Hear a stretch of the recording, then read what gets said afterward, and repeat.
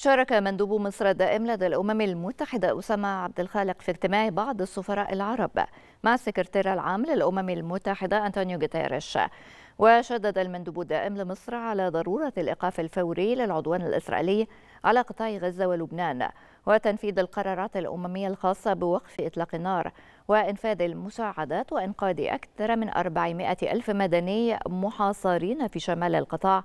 تحت القصف الإسرائيلي المستمر. واتخاذ موقف دولي موحد حازم تجاه الانتهاكات الإسرائيلية للقانون الدولي الإنساني.